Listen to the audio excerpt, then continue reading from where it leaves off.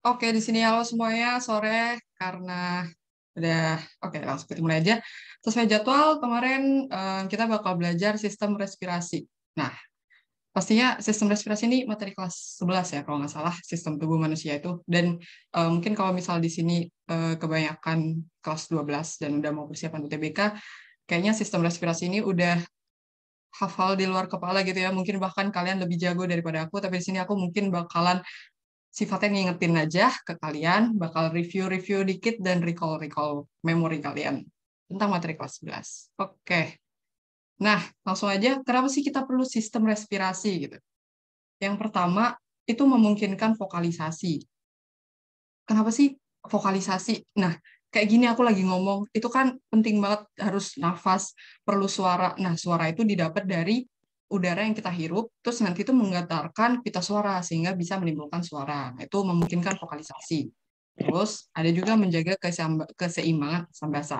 Keseimbangan asam basa ini nantinya bakal diaturnya itu sama kadar CO2 dan oksigen. Nanti itu akan berkaitan sama um, asam basa darah. Terus yang ketiga pertahanan tubuh. Kenapa bisa pertahanan tubuh? Ya bayangin aja misalnya kayak kalian sekarang nih um, bahkan mungkin lebih gampang ya aku jelasinnya karena sekarang tuh kita lagi gencar-gencarnya COVID. Nah, kalau misalnya bayangin kita nggak punya sistem respirasi, kita nggak punya um, sistem-sistem penyaring yang ada di tubuh kita, itu tuh virus tuh benar-benar bakal gampang banget masuk. Bahkan kalian mungkin um, udah pakai masker, kalau misalnya kita nggak ada sistem respirasi, itu bakalan langsung terpapar virus. Terus berikutnya ada indera penciuman, ya tentunya hidung kita tahu fungsinya selain untuk bernafas juga untuk membau dan yang paling penting itu kenapa sih manusia itu perlu berespirasi. Nah, karena kalau misalnya kita mau melakukan aktivitas itu pasti kan perlu energi. Untuk mendapatkan energi itu perlu melakukan oksidasi uh, makanan yang udah kita makan. Jadi nggak bisa tuh makanan yang udah kita makan, terus biarin gitu aja di dalam tubuh kita numpuk. Enggak, itu harus dibakar supaya bisa jadi energi. Nah, untuk mendapatkan uh, untuk sumber energi pembakarannya itu dari oksigen itu tadi yang kita hirup. Oke. Oke, sebelumnya di sini respirasi itu dibagi jadi dua. Ada respirasi internal sama respirasi eksternal. Respirasi internal ini mungkin kalian juga sering dengar namanya respirasi seluler gitu ya. Nah, di sini aku highlight kalau yang respirasi internal tuh dia kimiawi ya. Internal berarti dia metabolisme energi melalui pemecahan glukosa yang terjadi di dalam sel ini nanti juga dibagi lagi, respirasi internal dibagi jadi respirasi aerob sama anaerob. Kalau aerob, dia itu memerlukan oksigen dalam prosesnya, sedangkan anaerob itu berarti nggak memerlukan oksigen dalam prosesnya. Nah, mungkin yang respirasi internal ini nggak aku bahas di sesi ini, aku kali ini bakal lebih fokus ke respirasi eksternal atau yang sering kita sebut sebagai pernafasan gitu ya. Pernafasan tuh di sini aku highlight-nya adalah dia adalah proses fisik dengan mengambil oksigen dari lingkungan luar, terus mengeluarkan karbon dioksida dari tubuh ke lingkungan luar juga. Jadi pertukaran gas gitu. Oh ya, sebelumnya kalau kalian mau nanya, boleh banget bisa langsung raise hand, atau kalau misalnya aku nggak kelihatan, kalian udah lama raise hand, tapi aku nggak merespon, kalian boleh langsung on mic, atau boleh langsung chat aja. Oke. Okay. Dan kalau misalnya aku neranginnya kecepatan, bilang, oke, okay? biar aku turunkan rate menerangkanku sedikit. Nah, di sini ada saluran pernafasan manusia. Saluran pernafasan manusia di sini aku biasanya ngapalinnya hifa lari-lari ditabrak kali. Apa sih itu? Kayak jadi di sini hi itu hidung. Pertama kali kita masuk udara itu lewat hidung pastinya. Meskipun mulut itu juga dipakai e, bisa jadi jalan udara ya. Tapi kalau misalnya mulut mulut itu kenapa tidak dimasukkan ke dalam sistem pernapasan karena di mulut itu lebih rawan gitu. Sistem pertahanannya itu kurang dibandingkan di hidung. Di hidung tuh sudah dilengkapi oleh struktur-struktur yang memungkinkan kita untuk um, melakukan pernafasan itu dengan lebih aman. Oke, maaf kalau agak berisik.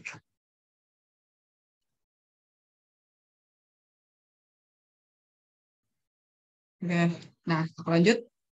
Setelah dari hidung itu ke faring faring itu rongga, jadi faring itu strukturnya nggak spesifik, tapi dia kayak ruangan dari dimulai dari belakang rongga hidung sampai belakang rongga mulut, bahkan sampai ke eh, rongga faring, rongga di belakangnya laring, eh, faring.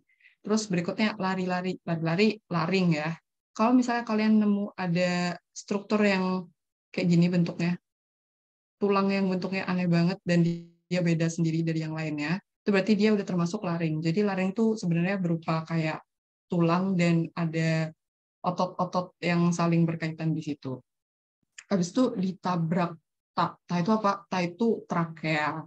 Nah, trakea itu saluran ini, dia panjang kayak gini, Nanti um, aku jelasin fungsinya lebih lanjut di next slide. Terus setelah dari trakea itu ke bronkus. Jadi di trakea itu bakal ada percabangan.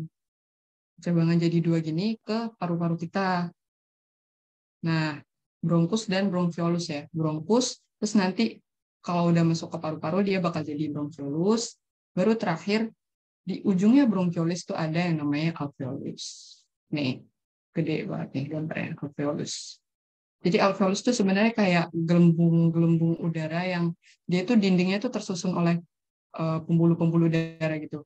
Nah, nanti pembuluh-pembuluh darah ini dia bisa mengembang sama mengempis uh, gelembung udara, maaf, gelembung udaranya. Oke, okay? gelembung udaranya itu bisa mengembang sama mengempis gitu. Nah, struktur yang pertama yaitu hidung. Nah, di sini hidung tuh tentunya sebagai pintu masuk dan keluarnya udara. Terus fungsi lainnya yaitu mengatur kelembapan dan suhu. Kenapa bisa gitu? Karena di hidung kita itu ada lendir atau mukosa. Nah, mukosanya ini menjaga agar suhu di ruang rongga hidung itu tetap hangat. Tuh. Terus berikutnya ada penyaringan. Gimana caranya penyaringan? Nah, kita tahu di rambut kalian masing-masing, di hidung kalian masing-masing bisa dilihat itu ada rambut hidung. Tapi aku mau highlight kalau ini bukan rambut hidung ya, ini saraf silia saraf pembau. Kadang tuh ada temanku dulu tuh yang kayak menyalahartikan ini tuh rambut hidung yang kita lihat itu bukan ini adalah saraf. Rambut hidung itu lebih ke permukaan di sini gitu. Terus fungsinya yaitu untuk pembau tentunya karena ada saraf olfaksi di sini atau saraf pembau namanya. Itu mungkin kalau kalian pernah belajar di sistem ini ya, sistem saraf itu dia nervus cranialis ke satu. Nah, eh, di penyaringan rambut hidung itu nanti kan eh, karena ada lendir-lendirnya, kotoran yang kita kumpulkan di hidung itu seperti yang kalian tahu itu kita sebut sebagai upil. Maaf ya kalau agak vulgar, tapi ya mungkin itu agak membantu kalian mengingat. Oke, mungkin ini fungsi yang lainnya yaitu turbinasi udara. Jadi, nah kalau kalian fun fact aja di sini tuh hidung kita tuh nggak yang cuman kayak bolong terus kayak saluran gitu aja, enggak. Di situ tuh ada kayak lapisan-lapisan. Nah ini tuh bisa dibilang kayak turbin.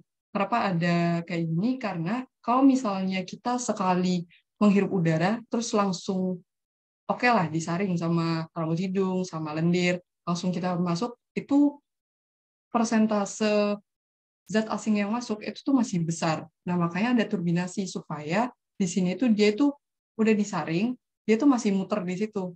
Bener-bener kayak sampai bersih, baru dia bakal dilanjutin ke saluran selanjutnya. Gitu. Terus berikutnya, ini mungkin nggak terlalu signifikan buat kalian tahu, tapi mungkin di sini aku mungkin emang bakal bahas kayak banyak fun fact, fun fact gitu. Kalau kita tuh punya yang namanya ruangan udara atau sinus. Nah, di sinus-sinus ini itu dia sebenarnya secara kalau misalnya pada orang yang sehat itu sinus ini tuh isinya udara gitu ya. Dia fungsinya itu buat mengatur suhu juga, membantu mengatur suhu, terus mengatur keseimbangan kepala kita. Jadi kepala kita itu kalau misalnya nggak banyak rongga udara itu benar-benar berat loh sebenarnya. Nah, rongga udara ini membantu kita untuk meringankan kepala kita. Bayangin kalau misalnya um, kita udah menopang otak yang segitu banyak menampung banyak memori kita terus habis itu ini nggak ada rongga udaranya tuh kalian pasti pusing banget membawa kepala pasti kayak sering ngantuk terus juga membantu dalam resonansi suara dan membantu produksi lendir yang ada di hidung itu sendiri gitu buat sinusitis kalian pernah dengar gak sih sinusitis nah kalau sinusitis itu berarti ini yang terganggu itu sinusnya ini. Jadi sinusnya ini mungkin ada kayak peradangan atau misalnya pembengkakan. Tuh. Sehingga kan kalian tahu kalau misalnya orang sinusitis tuh kayak hidungnya kesumpet terus ngomongnya tuh kayak kalau orang Jawa bilang tuh bindeng gitu ya. Bindeng tuh jadinya um, resonansi suaranya tuh nggak maksimal karena tempat untuk resonansinya kurang maksimal sehingga suaranya tuh kayak memantul jadi bindeng gitu. Oke, selanjutnya ke faring. Nah, tadi yang aku bilang faring tuh uh, sebenarnya agak kurang spesifik tempatnya, tapi yang jelas dia itu dari sini. Dari belakang hidung sini itu udah mulai eh sorry. Dari belakang hidung sini tuh udah mulai faring sampai ke sini tuh faring. Nah, faring ini nanti dia mempercabangkan sistem pernapasan dan pencernaan. Jadi kalian tahu kan kalau misalnya pencernaan itu dia ke esofagus. Ingat-ingat ya, ke kerongkongan. Kalau misalnya yang pernapasan itu ke tenggorokan. Jangan sampai kebalik. Nah, kenapa bisa epiglotis ini menghindarkan makanan? Kalau kalian lagi nelan sesuatu itu kerasa kan ada yang kayak uh, kalau kalian pegang leher kalian tuh ada yang kayak bergerak naik gitu, bergerak naik dan menutup. Nah, itu tuh sebenarnya adalah epiglotis.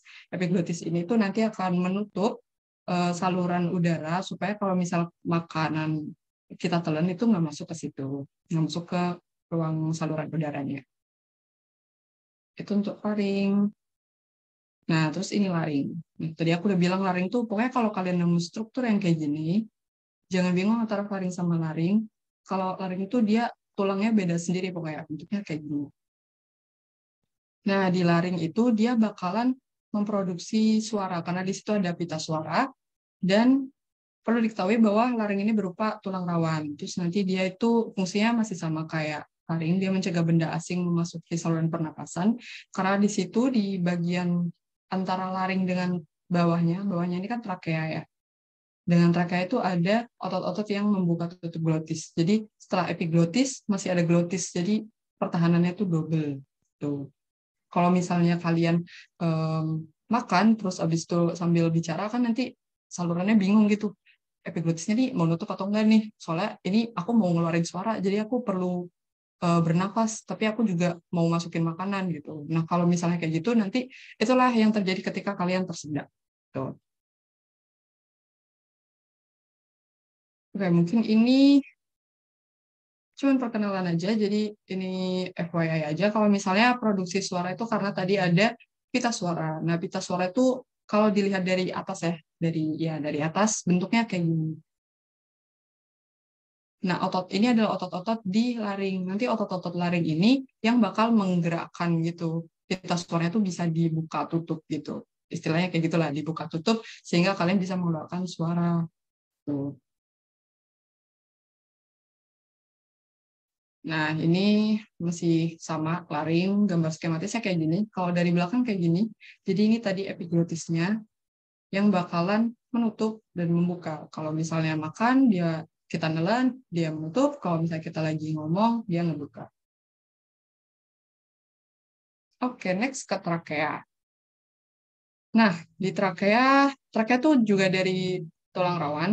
Dia dari namanya cartilago yang hialin jenisnya jadi ya bentuknya kayak cincin. Sebenarnya bukan cincin sih. Cincin itu kan bulat gini ya. Kalau trakea itu tulangnya itu bentuknya kayak C, tapi dia eh, bagian sininya jadi kayak hampir kayak D gitu lah. Yang bagian ininya itu tuh otot-otot. Kenapa dia otot-otot? Karena biar bisa fleksibel gitu. Kalau misalnya dia cuma tulang bulat gini, nanti kalau misalnya kalian eh, menelan sesuatu yang apa ya, ketelan sesuatu yang ukurannya besar gitu. Nanti tuh uh, menyumbat dan ototnya tuh nggak bisa fleksibel gitu, nggak bisa mendorong ke atas.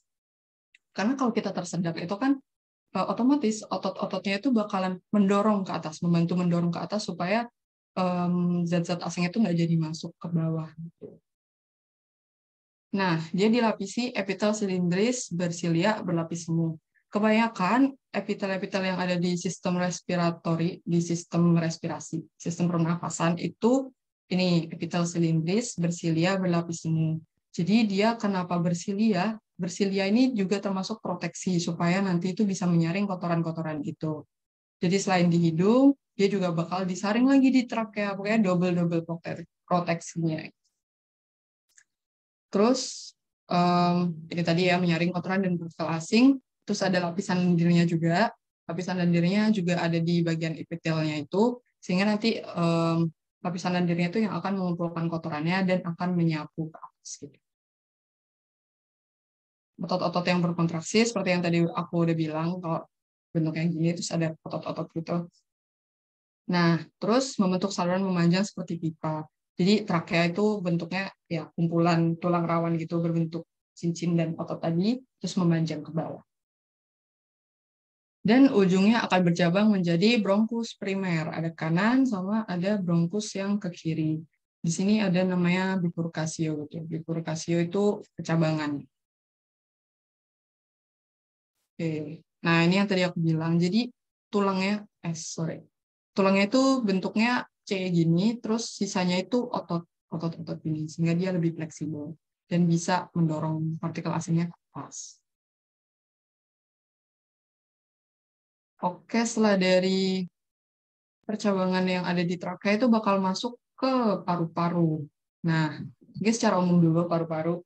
Eh, nanti di paru-paru juga bakal dibagi bronkus, bronchiolis, sama alveolus gitu ya. Nah, paru-paru ini adalah organ yang paling penting dalam sistem pernafasan manusia.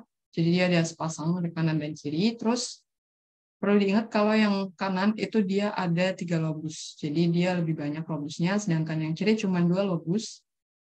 Nih, bisa dilihat kalian ini ada garis gitu kan. Nah, garisnya dua. Berarti di sini ada lobus yang atas, yang tengah, sama yang bawah. Sedangkan yang kiri itu cuma ada dua lobus, jadi cuma yang atas sama yang bawah. Lobus yang kiri di sini tuh bentuknya uh, beda sama yang kanan karena di sini ada kayak lubang kayak cekung gitu ya. Cekung ini karena dia sebagai tempatnya jantung. Jadi jantung kita itu uh, ujungnya itu lebih condong ke kiri sehingga dia mendesak paru-paru kita yang sebelah kiri. Terus paru-paru ini dilapisi oleh pleura. Jadi pleura itu kalian lihat di sini gambarnya ada yang ini kan ya, yang abu-abu sama ada yang pink. Nah, pleura itu dia ada dua lapis. Ada yang nempel langsung ke paru-parunya, itu yang warna pink. E, sebenarnya sama aja kayak paru-parunya. Intinya kayak dia membungkus, dia nempel langsung ke paru-paru. Sedangkan yang luar itu namanya ini ada pleura lagi yang nempel ke rongga dada, ke tulang rusuk kita gitu. Jadi nanti itu pleura, enggak, mungkin aku, nah ini. Nih ada pleura yang di dalam, itu namanya visceral, yang luar namanya parietal. Mungkin balik ke gambar yang tadi. Nah yang dalam kan visceral, yang luar parietal. Jadi di antara dua pleura itu ada ruangan. Tapi seharusnya ruangan itu itu nggak boleh berisi cairan, kecuali itu dalam kasus-kasus yang tertentu dia akan berisi cairan itu berarti nggak sehat orangnya. Pokoknya intinya nggak boleh ada cairan.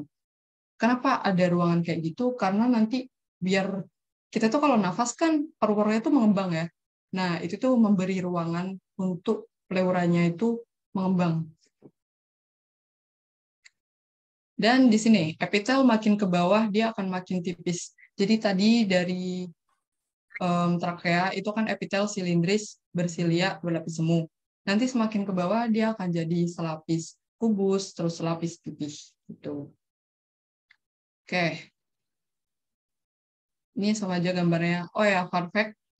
Kalau misalnya kita tuh tersedak, itu bakalan lebih sering ke bronkus kanan atau kiri. Ah, siapa, siapa mungkin ada yang tahu.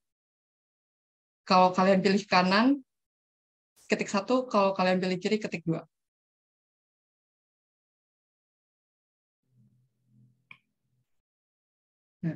Satu, satu. Oke, benar. Satu. Ya, selamat kalian benar. Satu karena bisa kalian lihat di sini tuh yang kanan itu dia lebih lebar dibanding yang kiri. Sama dia lebih pendek. Jadi dia tuh lebih rawan buat kemasukan benda asing dibanding yang kiri. Gitu. Itu kenapa kayak orang-orang tuh kebanyakan uh, lebih banyak paru-parunya tuh rusak yang kanan daripada yang kiri. Oke, makasih tadi yang udah respon. Nah, lanjut. Bronkus, bronchiolis, sama alveolus. Bronkus itu cabang dari trakea kan ya. Tadi ada yang ke kanan dan ada yang ke kiri. Dia akan menuju masuk ke paru-paru kanan dan paru-paru kiri.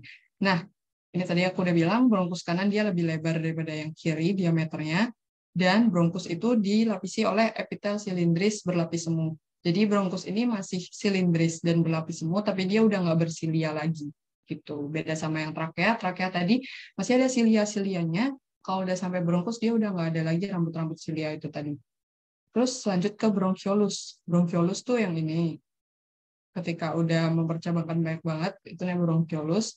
Nah, bronchiolus ini dia dilapisi oleh epitel kubus lapis. Udah makin tipis lagi kan? Dari yang silindris berlapis semu dan dia bersilia, jadi nggak bersilia. Terus sekarang bahkan cuma jadi salapis dan kubus. Bedanya bronchiolus sama bronkus itu kalau yang bronchiolus tuh dia udah nggak ada tulang rawan gitu. Udah berupa saluran dan dia dibungkus kayak uh, pembuluh-pembuluh darah. Kemudian selanjutnya ujungnya adalah alveolus. Nah, alveolus ini gelembung udara dengan dinding kapiler yang tadi udah sempat aku sampaikan dan dia makin tipis lagi nih epitelnya. Epitelnya dia pipih selapis. Jadi pipis lapis, kenapa dia harus pipis lapis? Karena kalau misalnya alveolus itu kan fungsinya untuk pertukaran udara ya, antara oksigen sama karbon dioksida. Kalau misalnya dia tebal, nanti pertukaran udara itu bakal kehambat gitu, karena harus menembus lapisan yang tebal. Makanya harus dibuat setipis mungkin biar memudahkan pertukaran udara itu tadi. Oke, pop quiz.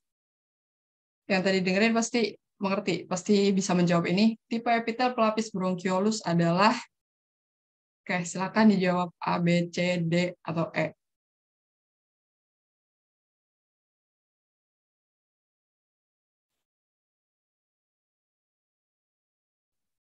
B. Oke, siapa itu tadi yang menjawab B? Aku nggak bisa lihat nama ya. Ki menjawab B. Apakah ada jawaban lain? C. Legihan menjawab C. Oke. Ada lagi yang menjawab? Ada lagi yang punya pendapat lain? Sarah menjawab C. Al menjawab C.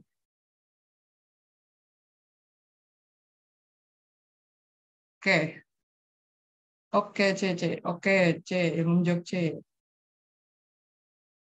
Ada yang mau jawab A nih? Atau jawab E? Atau jawab D?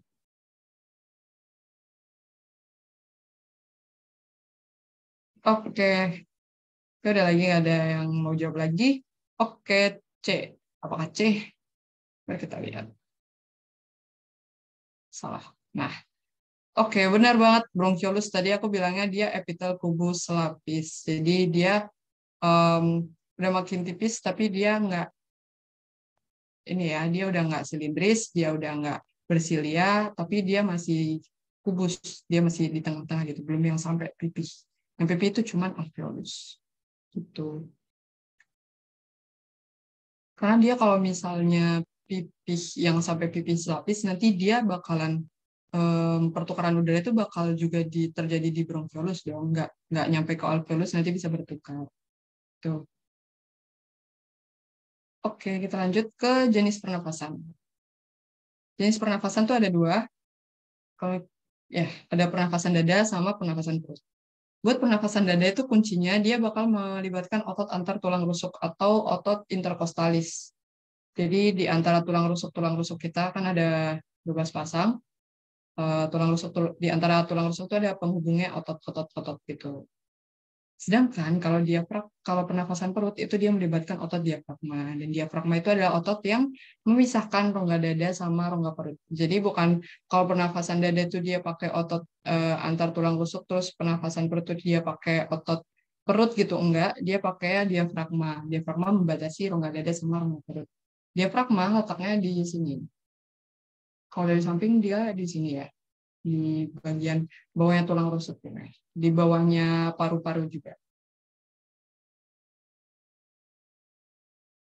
Terus mekanisme pernafasan nih. Mekanisme pernafasan ada dua fase, ada inspirasi sama ekspirasi. Kalau inspirasi itu dia diawali dengan otot pernafasan dan diafragma berkontraksi. Jadi kalau misalnya otot pernafasan atau otot antar tulang rusuk itu dia e, berkontraksi berarti dia pernafasan dada, sedangkan kalau yang diafragma yang berkontraksi berarti dia pernapasan perut. Nah, ketika dia berkontraksi, diafragma ini akan turun. Nih, bisa dilihat ya, diafragma itu kontraksinya tuh turun, sehingga dia jadi lebih datar. Enggak yang datar banget, tapi dia menjadi lebih datar, sehingga memberikan ruang yang lebih untuk rongga dada itu mengembang. ya kan? Karena dia diafragmanya turun atau misalnya otot-otot di tulang rusuknya itu mengembang, dia bakalan jadi lebih besar dong eh, ininya ruang rongga dadanya. Otomatis si paru-parunya itu juga ikut mengembang. Kenapa? Karena um, sudah dijelasin. Ya, karena tadi pleura yang aku bilang dia nempel ke rongga dada itu dia sifatnya bisa narik paru-parunya tuh buat mengembang. Karena dia mengembang, volumenya kan naik tuh berarti. Volumenya naik, otomatis tekanannya turun dong yang di paru-paru. Karena tekanannya yang turun, tekanan udara di luar itu jadi lebih tinggi daripada di paru-paru. Karena prinsipnya fluida itu kan mengalir dari tekanan tinggi ke tekanan rendah. Jadi dia mengalir dari luar masuk ke paru-paru. Sehingga volume udara di paru-paru akhirnya bisa meningkat. Tuh. Sebaliknya, kalau fase ekspirasi, berarti otot pernafasan dan diafragma itu relaksasi. Karena dia relaksasi, dia jadi santuy. Kalau relaksasi jadi rileks. Jadinya si diafragmanya itu naik, melengkung. Nah, otomatis rongga dada itu bakal mengempis lagi kan. Bakal mengempis lagi, sehingga paru-parunya juga ikut mengempis karena paru-parunya ikut mengapis, akhirnya si volume paru-parunya itu um, jadi ketekan dan tekanan di paru-parunya itu jadi lebih tinggi. Karena paru-parunya tekanannya jadi lebih tinggi, akhirnya udaranya bisa keluar karena dia tekanannya lebih tinggi daripada di udara luar. Kayak terjadilah ekspirasi. Nah, ini volume udara di paru-paru. Volume udara di paru-paru sebenarnya kalau soal kayak gini biasanya kadang kayak lebih ke baca grafik. Tapi yang penting kalian tuh paham apa volume tidal itu apa, volume cadangan inspirasi itu apa, volume cadangan ekspirasi itu apa gitu ya. Oke, pertama volume tidal. Volume tidal itu adalah volume yang ada ketika kita melakukan pernafasan biasa, baik inspirasi maupun ekspirasi. Jadi kita nafas biasa kayak itu termasuk volume tidal. Sebenarnya kalau untuk jumlah-jumlahnya ini tuh nggak ada yang pasti ya. Kayak berbagai literatur tuh bakalan tiap literatur bakalan beda gitu. Jadi ini tuh nanti misalnya ada di soal tuh bakalan ngikutin ke soalnya aja. Nggak perlu hafalin volumenya itu ada berapa. Terus volume cadangan inspirasi. Volume cadangan inspirasi itu adalah ketika kita udah bernafas biasa nih. Terus kita tuh kayak menghirup udara lebih ekstra lebih maksimal setelah pernafasan biasa setelah inspirasi biasa, itu namanya adalah volume cadangan inspirasi.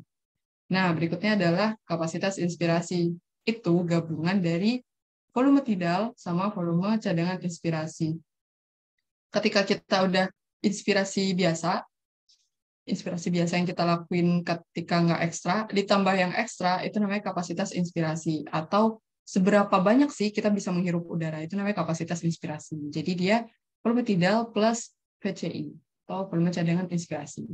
Terus berikutnya ada VCE, yaitu volume cadangan inspirasi. Volume cadangan inspirasi itu kebalikannya sih volume cadangan inspirasi. Dia ketika kita udah menghembuskan nafas biasa, terus kita hembuskan lagi, gitu. Itu namanya adalah volume cadangan inspirasi. Seberapa banyak sih yang bisa kita keluarin? Tuh. Fun fact, kita nggak punya yang namanya kapasitas ekspirasi, oke? Okay. Itu di Nah, selanjutnya ada volume residu. Volume residu yaitu udara yang tersisa setelah ekspirasi maksimal. Jadi, meskipun kita udah mengeluarkan nafas sekuat mungkin, itu tuh nggak langsung paru-paru itu drop, nggak punya udara di dalamnya itu nggak. Jadi, selama kita hidup, itu pasti yang namanya paru-paru itu punya volume residu. Di situ tetap ada udara sebagai cadangan kita. Terus, ada kapasitas residu fungsional. Nah, kapasitas residu fungsional ini gabungan dari volume residu ditambah cadangan ekspirasi. Tuh. Kalau kapasitas vital, kapasitas vital tuh benar-benar semua melibatkan VCI, VCE, PT, kecuali volume residu. Jadi kapasitas vital itu adalah seberapa banyak sih yang bisa bersirkulasi gitu ya, yang bisa kita hirup maksimal dan yang bisa kita keluarkan maksimal. Terus yang terakhir adalah kapasitas total atau KT atau KPT, kapasitas paru total saja. Dia adalah gabungan semua ini. Jadi kapasitas vital ditambah residu. Kalau kapasitas vital tadi dia nggak memperhitungkan udara yang tersisa di paru. Kalau kapasitas paru total itu benar-benar semua yang masuk, yang keluar, dan yang udah ada di paru sejak awal itu kita masukin ke kapasitas total. Nah, pop quiz. Ini mungkin aku tadi belum sempat jelasin uh, atau jelasin dikit. Nah, pertukaran gas di alveolus terjadi secara yang tahu kalau ada yang tahu langsung chat aja.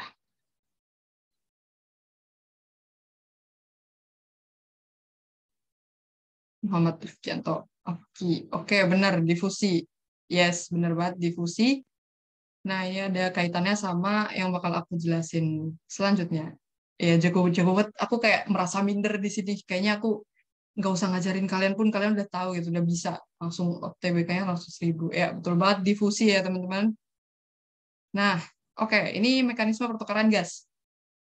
Jadi kenapa sih bisa gas yang ada di tubuh kita itu melakukan pertukaran. Kenapa bisa oksigen sama karbon dioksida itu saling bertukar tempat gitu? Karena dia ada yang namanya perbedaan tekanan oksigen dan karbon dioksida dan itu harus dijaga supaya kita itu tetap bisa bersirkulasi.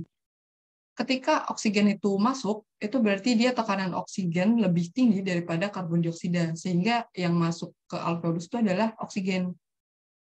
Nah, di sini ya. Ini untuk yang oksigen, alurnya kayak gini nih. Oksigen dari lingkungan tuh masuk saat inspirasi. Terus ketika udah sampai di alveolus, dia bakal berdifusi karena dia tekanannya lebih tinggi daripada tekanan kapiler di alveolus. Jadi ingat aja, pokoknya yang namanya fluida, baik itu mau cair atau gas, itu pasti mengalir dari tekanan tinggi ke tekanan rendah. Sehingga dia akan mengalir uh, ke alveolus dan dia berdifusi uh, sehingga oksigen masuk ke alveolus dan aku tadi bilang di alveolus itu banyak kayak pembuluh-pembuluh darah yang membungkus. Nah, di situ ada hemoglobin. Hemoglobin inilah yang bakal mengikat oksigen itu tadi. 98%-nya itu diikat oleh hemoglobin, jadi oksihemoglobin namanya, atau HbO2. Sisanya sekitar 2 persenan itu larut ke plasma. Setelah itu, oksihemoglobin itu didistribusikan ke jaringan untuk oksidasi sel. Kenapa harus melalui hemoglobin? Karena kalau misalnya oksigen aja kayak langsung lewat, dia tuh nggak bakal bisa apa ya melakukan pertukaran dengan sel atau jaringan. Sehingga kan ini oksigen diperluinnya buat respirasi sel, sehingga dia harus diikat oleh hemoglobin supaya nanti itu bisa sampai ke jaringan dan e, dipakai. Nah, selanjutnya HB melepas O2 untuk didistribusi jadi setelah udah sampai nih, misalnya kita mau ke organ jantung gitu, misalnya mau ke organ apa ya lambung gitu. Nah sampai di lambung itu udah sampai nih si oksigen sama hemoglobin. Si hemoglobin langsung melepaskan oksigen supaya bisa langsung dipakai sama si lambung. Nah nanti si hemoglobinnya ini nggak langsung kayak udah bebas tugas, nggak dia bakalan bertugas nanti mengikat CO2 hasil metabolisme. Nah, zat sisa metabolismenya adalah CO2. Oke, ini sorry, panahnya kebalik ya, harusnya ini ke atas. Itu, zat sisa metabolisme selnya adalah CO2. Di antara dua proses ini sebenarnya ada respirasi seluler yang bulat yang mungkin kalian pernah tahu di materi metabolisme. Ada anabolisme, katabolisme, yang glikolisis, terus fosforilasi oksidatif, nah dan sebagainya itu. Tapi kita nggak bahas itu di sini, oke? Nah, CO2 tadi dia difusi ke kapiler jaringan karena tekanannya tinggi. Jadi karena hasil metabolismenya ini kan banyak banget uh, eh, CO2 dari awal tuh banyak banget. Uh, jadi tadi awalnya uh, oksigen yang tinggi, terus ketika udah sampai ke jaringan makin dikit makin dikit kan. Setelah dilepas, dia melakukan respirasi seluler dan menghasilkan karbon dioksida. Karbon dioksida ya berarti otomatis langsung banyak dong di situ. Nah, karena dia tekanannya lebih karena dia banyak, jadi tekanannya lebih tinggi sehingga dia bakal berdifusi ke kapiler. Jadi ke kapiler vena ya vena ya kapiler vena. Yang di dekat jaringannya. Setelah itu CO2-nya bakal diangkut ke alveolus. Balik lagi ke alveolus dengan tiga cara. Kalau si oksigen tadi dua cara. 98% itu oleh hemoglobin sisanya larut di plasma. Sedangkan yang CO2 dia bakal larut di plasma diikat hemoglobin sama diangkut sebagai ion bikarbonat.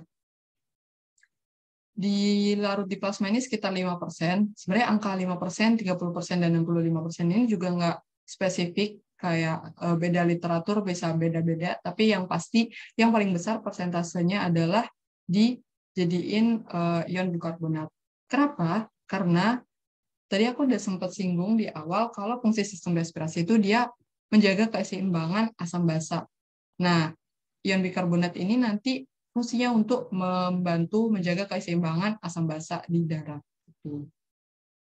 Terus diikat sebagai HbCO2 atau karbomik karboksihemoglobin. Itu ada 30% dan 5%-nya itu akan larut di plasma darah dalam bentuk uh, asam karbonat. Ini juga berkontribusi dalam menjaga keseimbangan asam basa. Jadi H2CO3 atau asam karbonat ini kan fungsinya untuk menjaga keasaman ya untuk masuk.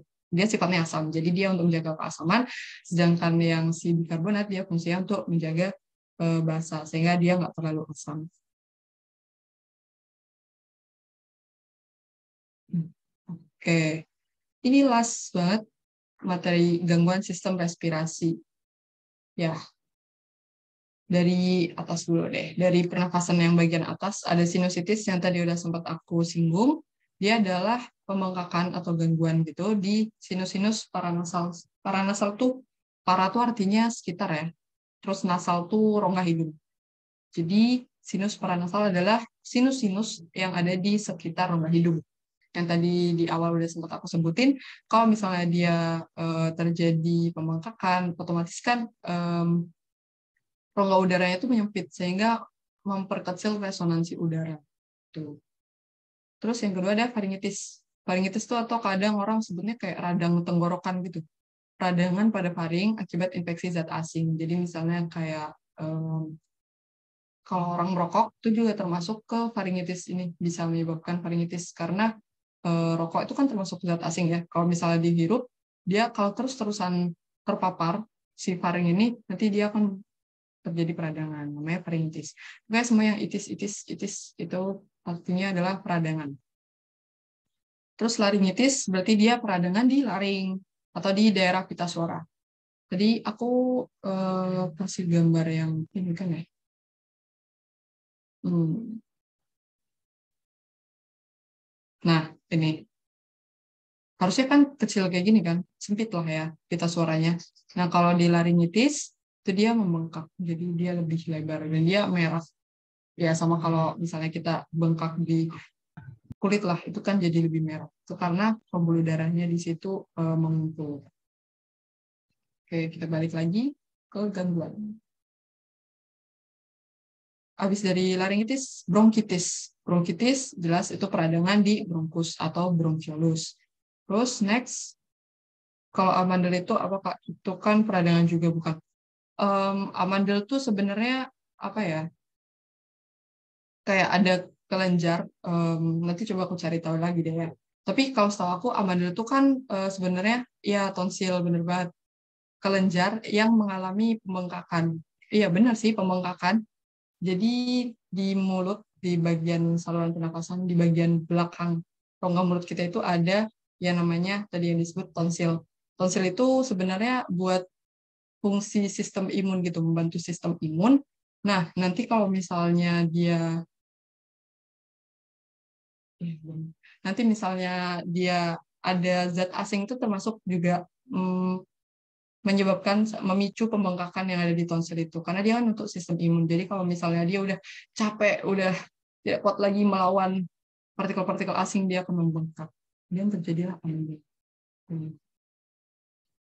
Eh, ya bocor.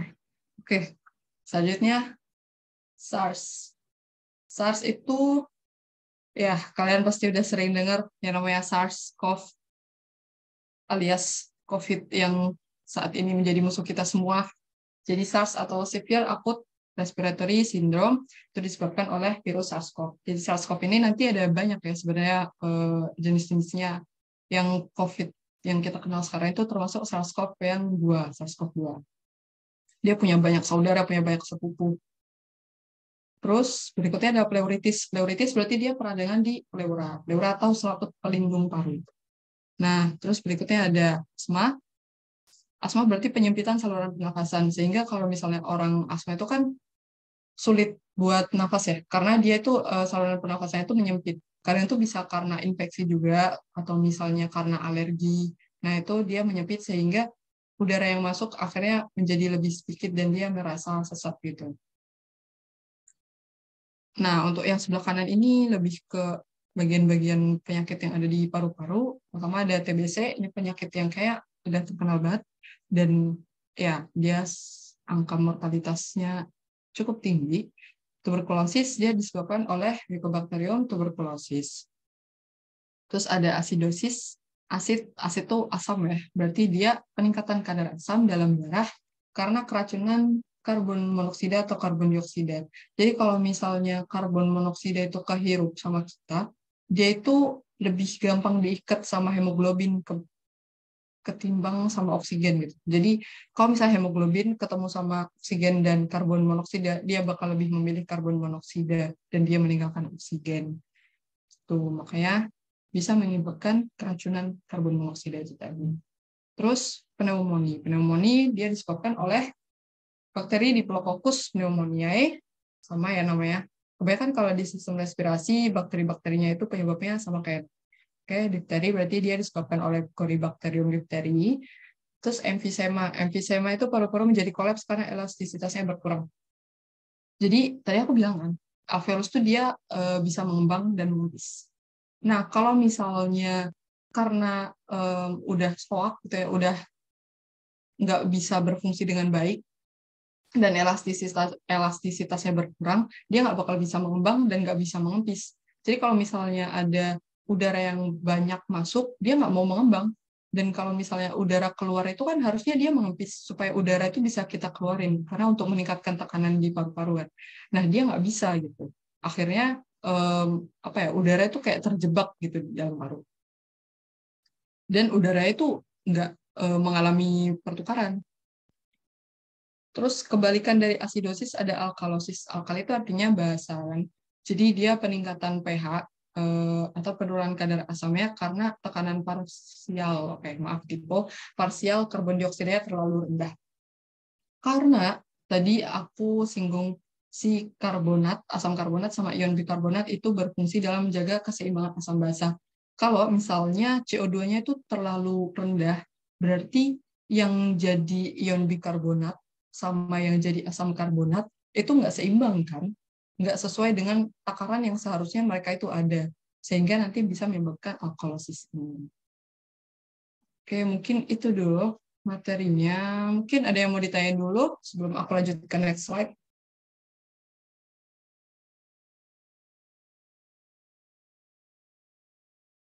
Oke, mungkin belum ada ke next slide. Karena nggak ada yang nanya, aku yang nanya. Jadi, Oke, mari kita recap atau recall Kayak agak suasana guru ngajar di kelas gitu ya. Kalau kalian nggak nanya, aku yang nanya gitu. Oke, nggak kok. Santai, santai, nggak apa-apa. Mari kita recall pakai soal. Jadi ini, Berikut ini merupakan peristiwa yang terjadi ketika inspirasi pernapasan dada simulasi kuliah. Enggak, jangan jangan takut-takutin dong. Nanti mereka bingung kuliah gimana susah nggak? Enggak kok. Enggak. Oke, mungkin aku tunggu hmm, satu menit. Satu menit. Udah pada pintar-pintar sebelum satu menit juga pasti udah bisa menjawab. Ya jawabannya apa? A, B, C, D, atau E kah? Langsung ketik aja di chat.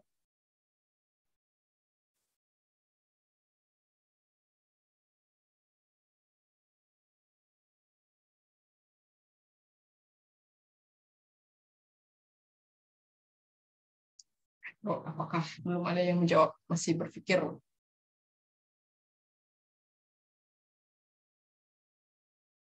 Oke, ada yang private chat. Malu-malu rupanya. D, ya. Oke. Ada lagi yang mau menjawab? Masa lagi searching gitu. Bener banget. Heyo, masih berpikir lah. Masa searching? Kan udah jago-jago di sini percaya kalian demikian.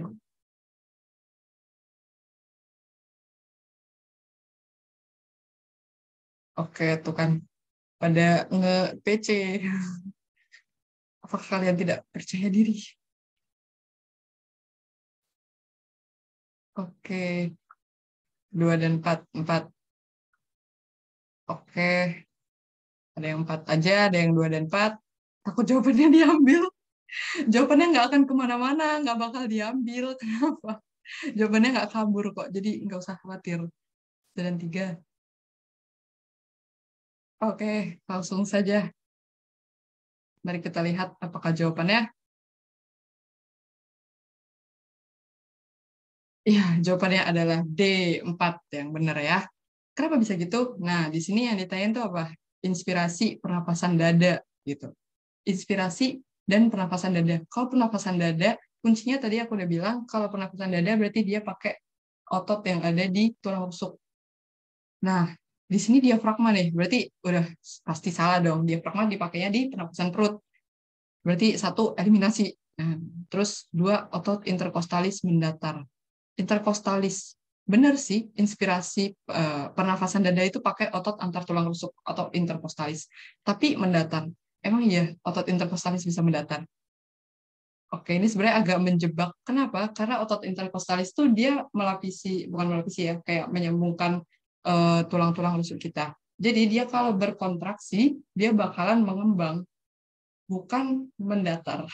Aku nggak bayangin kalau mendatar gimana ya. Ya, pokoknya kalau interkostalis dia jadi yang mengembang ya guys, bukan mendatar.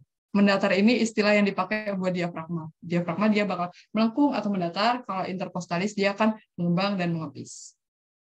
Jadi dua kita eliminasi. Tiga, tekanan darah di paru-paru lebih tinggi. Di sini inspirasi. Kalau inspirasi berarti udara masuk. Udara masuk otomatis berarti tekanan dari tinggi ke rendah ya. Berarti yang di luar lebih tinggi dong biar bisa masuk. Gitu. Jadi tiga juga salah karena harusnya tekanan darah di paru-paru lebih rendah biar bisa masuk. Dan yang terakhir kontraksi otot interkostalis. Oke, inspirasi selalu dikaitkan sama kontraksi, sedangkan relaksasi selalu dikaitkan dengan ekspirasi. Ya ingat-ingat aja kayak ekspirasi ada huruf E-nya berarti dia relaksasi ada e-nya juga sama-sama ada e-nya aku ingetnya gitu sih dulu terus pernapasan dada udah benar kontraksi otot interkostalis oke berarti jawabannya yang benar adalah empat doang. Gitu. Selamat kepada siapa tadi yang menjawab? Halo dok. Halo dek kalau aku. Novi keren banget Novi benar jawabannya. Nah next. Diketahui kapasitas paru-paru Siti sebagai berikut. Maaf kalau di sini ada yang namanya Siti, aku nggak bermaksud. Tapi tadi yang ada di pikiranku itu kayak bikinnya namanya Siti. Okay. Jadi yang pertama volume tidal 500 ml, yang kedua volume residunya 1500 ml, yang ketiga volume cadangan inspirasi 2000 ml, dan yang keempat kapasitas residu fungsional 2500 ml. Nah, yang ditanya, berapakah kapasitas vital paru-paru Siti? Ingat ya, yang ditanya kapasitas vital. Terus yang diketahui di sini ada volume tidal, residu, cadangan inspirasi, sama kapasitas residu fungsional. Aku tunggu hmm, berapa menit ya? Berapa menit? Ayo kalian maunya berapa menit? Kalau yang 10 detik langsung bisa jawab, is okay guys, langsung jawab aja, nggak usah malu-malu.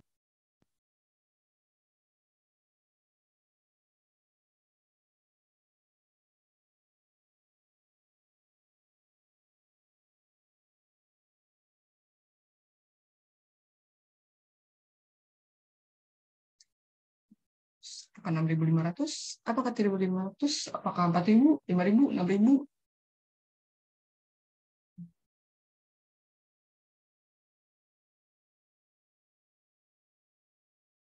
Sat, sat, sat, sat. Eh, ini lagi menghitung nih pasti.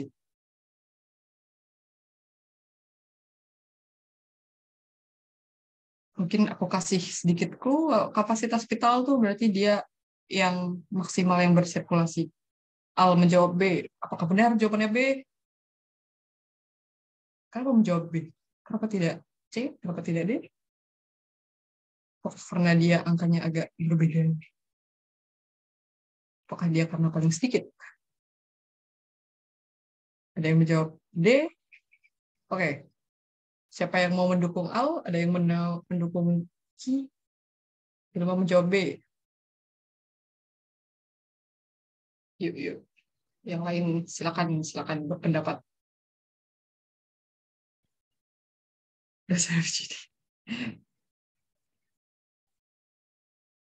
Ya, mungkin siapa tahu aku salah hitung gitu ya kuncinya, terus ternyata ada jawaban yang lain gitu. Jadi kalian boleh berpendapat gitu. Ada lagi yang mau menjawab? Apakah tim Al dan Ilma yang benar, ataukah tim Aki yang benar?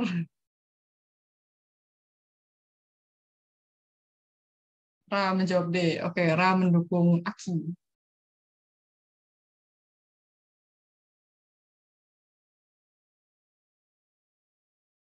Ada lagi yang menjawab? Tunggu satu menit lagi. Satu menit lagi. D. Mau menjawab D. Oke, menjawab D.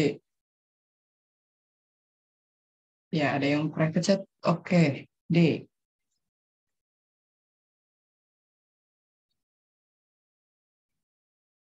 Ayo, ayo, ayo. Ada lagi yang mau jawab?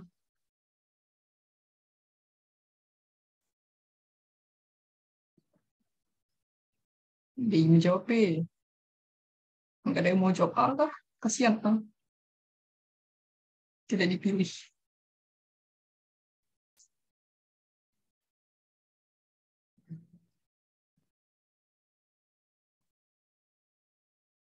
Oke.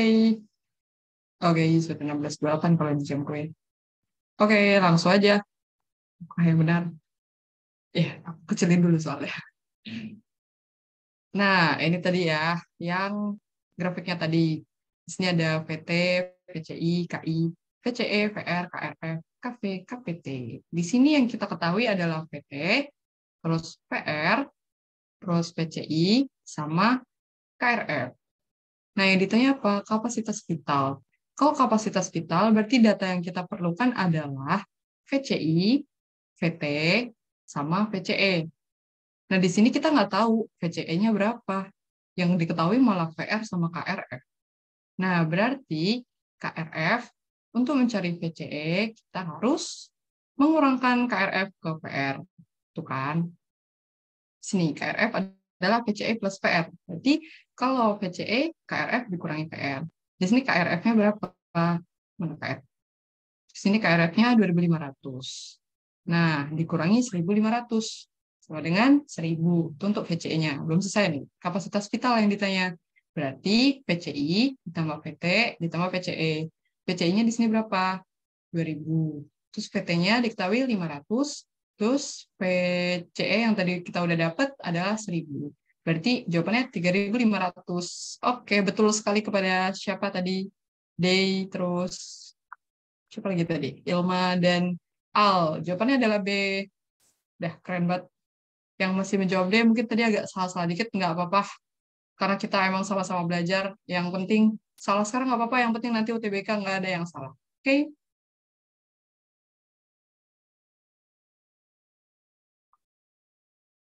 Oke, udah. Materi dan latihan soalnya dari aku itu dulu. Supaya kalian tidak terlalu panas otaknya. Karena aku paham ada yang puasa, jadi kalau nanti menampung terlalu banyak, kasihan otaknya.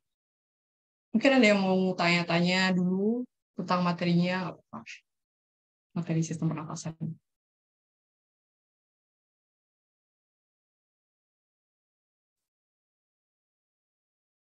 Atau mungkin ada yang mau bertanya tentang apa ya? Oke, ada yang nanya. Kak, kalau pusat pernapasan itu diatur oleh medula oblongata, bukan? Oke, sebenarnya kalau misal pusat pernapasan, medula oblongata dia termasuk sih berkontribusi ya medula oblongata tapi dia uh, lebih ke keseimbangan dan pendengaran gitu. Kalau saya aku ya. Kalau pernafasan tuh nanti dia ada namanya pusatnya sendiri. Itu namanya pusat pneumotoksik gitu namanya guys. Di otak tuh ada yang namanya pusat pneumotoksik dia akan mengatur yang namanya inspirasi dan ekspirasi kapan kita mau inspirasi atau ekspirasi itu kalau misalnya dulu obrol kata ya termasuk termasuk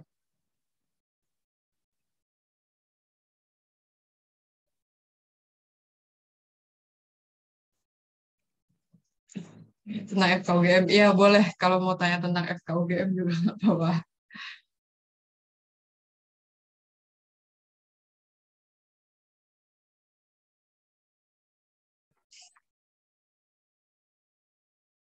Soal biologi yang sering keluar di UTBK apa aja? Hmm, Oke, okay. sebelumnya mohon maaf ya, uh, aku mau disclaimer dulu.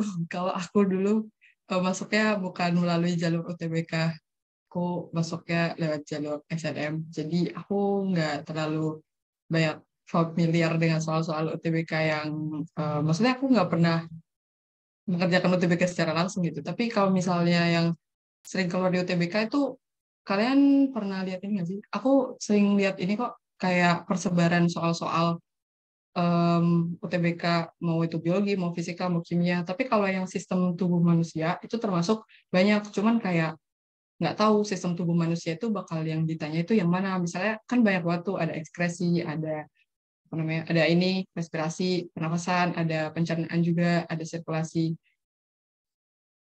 Astagfirullah. Nah, kalau misalnya itu kayaknya bakalan beda-beda mungkin kayak tiap paketnya bakal beda-beda gitu sih tapi selain sistem tubuh manusia itu juga yang pasti ada itu metabolisme itu ada respirasi seluler maksud aku kayak glikolisis itu misalnya baik itu mau tahapannya mau itu apa namanya hasilnya per tahap itu apa atau misal tempat terjadinya sama ini hmm, apa ya namanya klasifikasi makhluk hidup. Klasifikasi makhluk hidup itu juga pasti ada.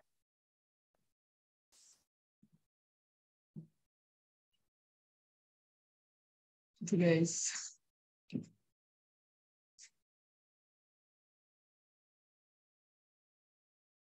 Lagi yang mau bertanya, aku stop share aja dulu kali ya.